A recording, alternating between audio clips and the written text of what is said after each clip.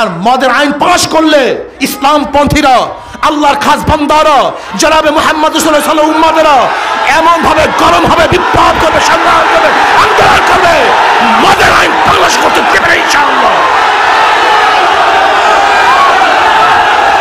মদের আইন বাংলাদেশে পাশ হতে দেবে না ইনশাআল্লাহ। যদি এই আইনকে বাতিল করার জন্য আপনাকে ডাক দেওয়া হয়, যদি মদের আইন বাতিল করার জন্য আপনাদেরকে ঢাকায় আমির মুজাহিদ হজরত পিসাব দামাত বরকাতুমের আহ্বানে ঢাকার ময়দান ডাক দেওয়া হয়। সবাই যাওয়ার জন্য রাজি আছে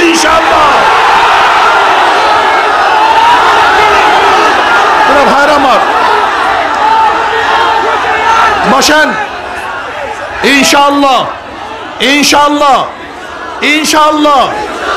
আমরা জীবন দেব। আমরা রক্ত দেব।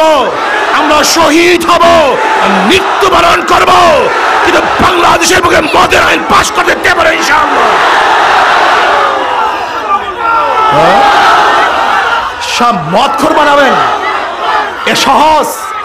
আজকে আওয়ামী লীগের দল শেখ সাহেব যে মদকে নিষিদ্ধ করেছে, আওয়ামী লীগের দল সেই মদকে বৈধ করবে, আমি মনে করি এটা শেখ সাহেবের আওয়ামী লীগ নয়, এটা দিল্লির আওয়ামী লীগ।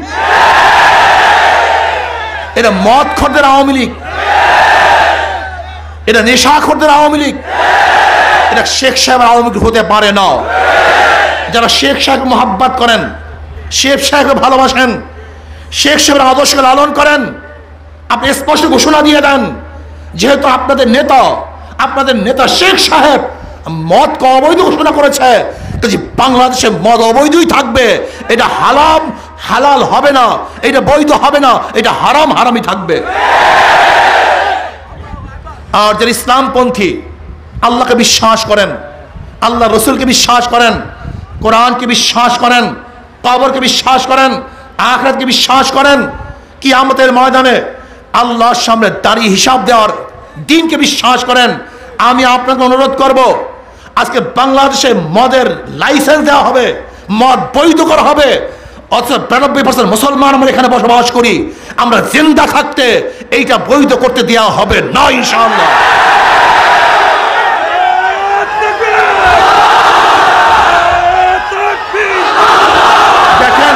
এই অপকর্ম তাদের মধ্যেই থাকবে না। একদিন তোমার ছেলের মধ্যে চলে আসবে, তোমার বাবার মধ্যে চলে আসবে, তোমার মেয়ের মধ্যে চলে আসবে, তোমার পরিবারের মধ্যে চলে আসবে, তোমার সমাজের মধ্যে চলে আসবে, তোমার দেশের মধ্যে চলে আসবে।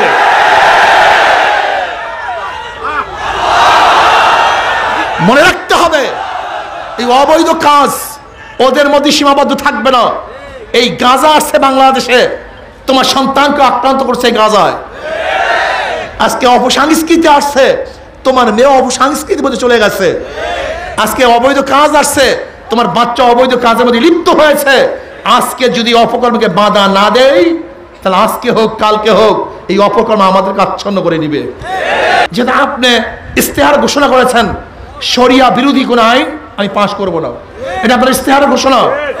আর মদ শরিয়া বিরোধী, আপনার ইস্তেহার ছিল শরিয়া বিরোধী আইন পাশ করবেন না। কাজে আপনার ইস্তেহারের কথার সাথে যদি আপনার কথার মিল না থাকে, আপনি অবৈধ কাজ করেন, তাহলে আপনার ক্ষমতাও থাকে না। এমন সংস্কৃতি আদর্শ জনাব মোহাম্মদ রসুল্লাহি সাল্লাহ আলী আসাল্লাম শিক্ষা দিয়েছেন, যেখানে মানুষগুলি মদকে ভুট হয়ে পড়ে থাকতো। জনাব মোহাম্মদ রসুল্লাহি সাল্লাহ আলী আসাল্লাম এমন এক সংস্কৃতি, এমন এক আদর্শ শিক্ষা দিয়েছেন, এমন এক নীতি শিক্ষা দিয়েছেন যারা মদ ভিন চলতে পারতো না। কিন্তু জনাব মোহাম্মদ রসুল্লাহি সাল্লাহ আলী আসাল্লাম দিন ইসলামের ইমানের এমন নূর তাদের মধ্যে স্থাপন করেছেন। মদের পরিবর্তে আল্লাহকেই তারা বেশি মহাব্বাত করেছে। ছেড়ে দিয়েছে মদ। আর আপনারা জানেন, সমস্ত গুণার মূল হলো মদ। সমস্ত গুণার মূল মদ। মদ হলো এমন এক এমন এক জিনিস যা অন্য গুণা করতে আপনাকে স্পৃহা উদ্বুদ্ধ করার প্রয়োজন নেই, বরং মদ পান করলে গুনার প্রতি এমনি উৎসাহিত হবে। ইসলামী মদকে হারাম কেন করেছেন? খামার খামার খামার শব্দ অর্থ কি? পর্দা। ঠিক না? আপনাকে কি করবে? মদ পান করলে বিবেকের মধ্যে পর্দা ঢেলে দিবে। যখনই আপনার বিবেকের মধ্যে পর্দা চলে আসবে, তখন আপনি কোনটা ভালো, কোনটা মন্দ, কি করা উচিত, কি করা উচিত না, আমি কি গালি দেব, কি দেব না, আমি কি নাচানাচি করব, কি করব না, বকাবকি করব, কি করব না, একটা মেয়ের দিকে তাকাবো কি তাকাবো না, আমি ধর্ষণ করব, কি করব না, আমি বেবিচারের মধ্যে লিপ্ত হব, কি হব না, এই বিবেক আপনাকে নষ্ট করে দিবে। এই বিবেক বন্ধ হয়ে যাবে। এর জন্য সমস্ত অপকর্মের মূল হলো মদ। এই খামার এর জন্য ইসলামের মধ্যে মদ হারাম। মদ খাওয়া জায়েজ নাই। যদি মদ পান করে, তা বিবেক নষ্ট হয়ে যায়। যেমন পাগল উলঙ্গ হয় কেন? বিবেক না থাকার কারণে। পাগল গালি দেয় কেন? বিবেক না থাকার কারণে। পাগল আক্রমণ করে কেন? বিবেক না থাকার কারণে। পাগল ঠিকমতো কাজ করতে পারে না কেন? বিবেক না থাকার কারণে। ঠিক একই কাজ মদ্যপায়ীর মধ্যে হয়ে যায়। দেখবেন মদ্যপায়ী ওই যে মুরাদ, ডাক্তার মুরাদ দেখছেন না আপনি মদ পান করে? কি অবস্থা হয়? এটা বাধ্য। সে গালাগালি করতে বাধ্য। সে অপকর্ম করতে বাধ্য। ঐশী, তার বাবা মাকে কেন হত্যা করেছে? এই নেশার জন্য হাজারো সন্তানরা মাকে কেন হত্যা করছে? এই নেশার কারণে হাজারো সন্তান বাবাকে কেন হত্যা করছে? এই নেশার কারণে, এই মদের কারণে, নেশার কারণে। এর ইসলামে নেশা, মদ সম্পূর্ণ হারাম। কিন্তু বর্তমান সরকার কি করছে? আমরা দেখেছি আইন করার চক্রান্ত করতেছে। একুশ বছর বয়স হইলে বাংলাদেশের পুরুষ মহিলা মদ পান করতে পারবে। একুশ বছর বয়স হলে যদি দরখাস্ত করে আমি মদ পান করতে চাই, সে মদ পান করে আবেদন করতে পারবে এবং অনুমতিও পেবে, পাবে। শুধু কি তাই? যেখানে একশো মদ খোর থাকবে, সেখানে দোকান খুলতে পারবে। একশো মত কর বলে দোকান খুলতে পারবে। বিরানব্বই পার্সেন্ট মুসলমানদের দেশে একুশ বছর বয়স হলে মদ পান করবে আর একশো মদখোর থাকলে সেখানে মদের বার খুলবে, দোকান খুলবে। এটা চিন্তা করা যায়?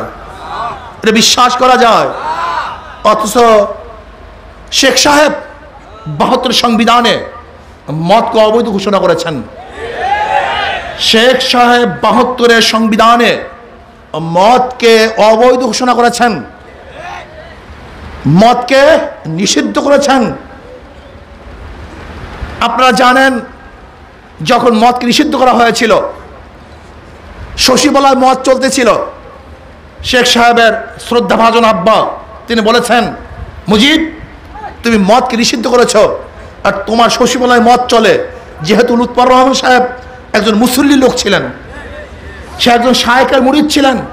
তার বড় বড় দাঁড়ি ছিল। সেদিকে আমি আজকে যাব না। তুমি মদকে নিষিদ্ধ করেছ আর তোমার সচিবালয় মদ চলে। রাগ করলেন তিনি। ঢুকে গেলেন সচিবালয়। গিয়ে দেখেন আসলে সেখানে মদ পাওয়া গেছে।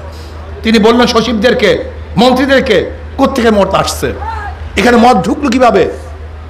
আমি তো মদকে নিষেধ করেছি। এদেশে মদ পান করা জায়েজ নেই। আমি নিষেধ করেছি। এখানে মদ ঢুকলো কীভাবে? তারা জবাব দিয়েছে যে বিদেশিরা আসছে, তারা মদ নিয়ে এসছে। তিনি বলেছেন, দ্বিতীয়বার জন্য এখানে মদ না ঢুকে। আমি মদ চাই না, মদ থাকবে না। আজকে আওয়ামী লীগের দল, শেখ সাহেব যে মদকে নিষিদ্ধ করেছে, আওয়ামী লীগের দল সেই মদকে বৈধ করবে। আমি মনে করি এটা শেখ সাহেবের আওয়ামী লীগ নয়, এটা দিল্লির আওয়ামী লীগ। এটা মদ খরদের আওয়ামী লীগ। এটা নেশাখরদের আওয়ামী লীগ। এটা শেখ সাহেবের আওয়ামী লীগ হতে পারে না। যারা শেখ সাহেব মোহাব্বত করেন, শেখ সাহেবকে ভালোবাসেন, শেখ সাহেবের আদর্শকে লালন করেন, আপনি স্পষ্ট ঘোষণা দিয়ে দেন, যেহেতু আপনাদের নেতা আপনাদের নেতা শেখ সাহেব মদকে অবৈধ ঘোষণা করেছে বাংলাদেশে মদ অবৈধই থাকবে, এটা হালাম হালাল হবে না, এটা বৈধ হবে না, এটা হারাম হারামই থাকবে। আর যারা ইসলামপন্থী, আল্লাহকে বিশ্বাস করেন আল্লাহ রসুলকে বিশ্বাস করেন, কোরআনকে বিশ্বাস করেন কবরকে বিশ্বাস করেন, আখরাতকে বিশ্বাস করেন কি আমাদের ময়দানে আল্লাহর সামনে দাঁড়িয়ে হিসাব দেওয়ার দিনকে বিশ্বাস করেন, আমি আপনাকে অনুরোধ করব, আজকে বাংলাদেশে মদের লাইসেন্স দেওয়া হবে, মদ বৈধ করা হবে অর্থাৎ বিরানব্বই পার্সেন্ট মুসলমান আমরা এখানে বসবাস করি। আমরা জিন্দা থাকতে এইটা বৈধ করতে দেওয়া হবে না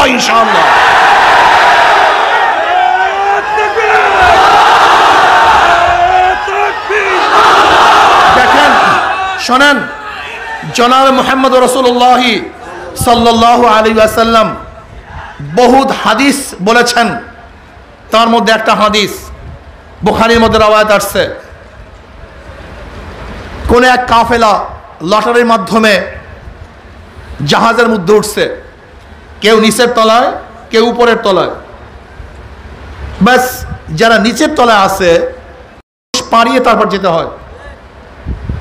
এখন নিচের তলার মানুষ চিন্তা করতেছে যে আমরা যেহেতু পানি আনার জন্য উপরে যেতে হয়, মানুষকে কষ্ট দিতে হয়, কাজে আমরা তাদেরকে কষ্ট দেব না, উপরে গিয়ে পানি আনব না। বরং আমাদের কাছেই তো পানি। আমরা যদি নৌকার নিচে ছিদ্র করে নেই, তো অনর্গল পানি পাবো। এখন উপরের মানুষগুলি যদি ওই নিচের মানুষগুলিকে বাধা না দেয়, ঠিক আছে, ওরা নৌকা ছিদ্র করে করুক, আমাদের কি? যদি তাদেরকে বাধা না দেয়, তাহলে ওরাও হালাক হবে, ধ্বংস হবে, যারা উপরে আছে, তারাও ধ্বংস হবে। আর যদি তারা তাদেরকে বাধা দেয় তার উপরের লোকগুলি বাঁচবে, নিচের লোকগুলিও বাঁচবে। জনাব মোহাম্মদ রসুল্লাহ সাল্লাহ আলসালাম বলতে চান, তোমরা যদি কোনো খারাপ কাজ দেখো আর মনে করো এই কাজ তো আমরা করি না, তারা করতেছে, আমাদের অসুবিধা কি? যদি তোমরা বাধা না দাও, তাহলে নৌকালারা বাধা না দেওয়ার কারণে যেগুলো নিজেরাও হালাক হবে, ওরাও হালাক হবে। আর তোমরা যদি অপকর্ম, অবৈধ কাজকে বাধা না দাও, তাহলে মনে রাখো এই অপকর্ম তাদের মধ্যেই থাকবে না।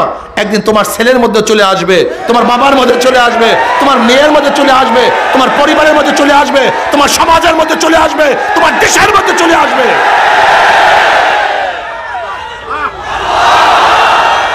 মনে রাখতে হবে, এই অবৈধ কাজ ওদের মধ্যে সীমাবদ্ধ থাকবে না। এই গাঁজা আসছে বাংলাদেশে, তোমার সন্তানকে আক্রান্ত করছে গাঁজায়। আজকে অপসংস্কৃতি আসছে তোমার মেয়ে অপসংস্কৃতির মধ্যে চলে গেছে। আজকে অবৈধ কাজ আসছে, তোমার বাচ্চা অবৈধ কাজের মধ্যে লিপ্ত হয়েছে। আজকে যদি অপকর্মকে বাধা না দেয় তাহলে আজকে হোক, কালকে হোক, এই অপকর্ম আমাদেরকে আচ্ছন্ন করে নিবে। কাজে ইনশাআল্লাহ ইনশাআল্লাহ আমরা ঘোষণা দিচ্ছি, আওয়ামী লীগ সরকারকে বলব, শেখ হাসিনা সরকারকে বলব, আপনাকে অনুরোধ করছি, আপনার বাবা যেই মতকে অবৈধ ঘোষণা করেছেন আপনিও সেই মতকে অবৈধ ঘোষণা করুন। আমি বিশ্বাস করি, এটা শেখ হাসিনাকে গদির থেকে দামাবার একটা কৌশল মাত্র। এটা ভারতের চক্রান্ত। কেন শেখ হাসিনাকে গদির থেকে নামাবার জন্য দরকার হলো ইসলামের বিরুদ্ধে আইন পাশ করা। কারণ শেখ হাসিনা যতক্ষণ পর্যন্ত ইসলামের বিরুদ্ধে আইন পাশ না করবে, ততক্ষণ পর্যন্ত সাময়িকভাবে দেখা যায় তাকে গদির থেকে নামানো সম্ভব নয়। এর জন্য ভারতের প্রতি যেহেতু শেখ হাসিনার ঝুঁকটা একটু কম, চীনের দিকে বেশি। কাজী ভারতের গুন্ডাগুলি, ওই ভারতের পাঁচটা গোলামগুলি, যেগুলো আওয়ামী লীগের মধ্যে আছে, কিন্তু আওয়ামী লীগের শত্রু। ওরা চিন্তা করতেছে, এই শেখ হাসিনাকে গদি থেকে নামাবার শুধু একটাই পদ্ধা পন্থতি সেটা হলো ইসলামের বিরুদ্ধে আইন পাশ করো। ইসলামের বিরুদ্ধে আইন পাশ করলে, মদের পক্ষে আইন পাশ করলে আপনি ক্ষমতায় থাকতে পারবেন না। তাহলে কারণটা কি? যেটা আপনি ইস্তেহার ঘোষণা করেছেন। শরিয়া বিরোধী কোন আইন আমি পাশ করব না। এটা আপনার ইস্তেহার ঘোষণা। আর মদ হলো শরিয়া বিরোধী, আপনার ইস্তেহার ছিল, শরিয়া বিরোধী আইন পাশ করবেন না। কাজে আপনার ইস্তেহারের কথার সাথে যদি আপনার কথার মিল না থাকে, আপনি অবৈধ কাজ করেন, তাহলে আপনার ক্ষমতাও থাকে না। কাজে আমি শেখ হাসিনা সরকারকে বলব আপনার আপনাদের সুবুদ্ধি দেওয়া হয়। মদের আইন পাশ করিয়েন না। নয়তো ওই মদের আইন পাশ করলে যেরকম ওই মদ খোরা মাতাল হয়, আর মদের আইন পাশ করলে ইসলাম পন্থীরা আল্লাহর খাস বান্দারা, জনাবে মোহাম্মদ উম্মাদেরা এমন ভাবে গরম হবে বিপ্লব করবে, সংগ্রাম করবে, আন্দোলন করবে, মদের আইন বাংলাদেশ করতে দেবে ইনশাআল্লাহ। মদের আইন বাংলাদেশে পাশ হতে দেবে না ইনশাআল্লাহ। যদি এই আইনকে বাতিল করার জন্য আপনাকে ডাক দেওয়া হয়। যদি মদের আইন বাতিল করার জন্য আপনাদেরকে ঢাকায় আমির মুজাহিদ হজরত পিসাব দামাত বরকাতুমের আহ্বানে ঢাকার ময়দান ডাক দেওয়া হয়। সবাই যাওয়ার জন্য রাজি আছে ইনশাআল্লাহ। ভাইরা আমার, বসেন। ইনশাআল্লাহ ইনশাআল্লাহ ইনশাআল্লাহ। আমরা জীবন দেব, আমরা রক্ত দেব, আমরা শহীদ হব মৃত্যুবরণ করব। কিন্তু বাংলাদেশের বুকে মদের আইন পাশ করতে দেব হ্যাঁ? সব মদ খোর বানাবেন। এ সহজ।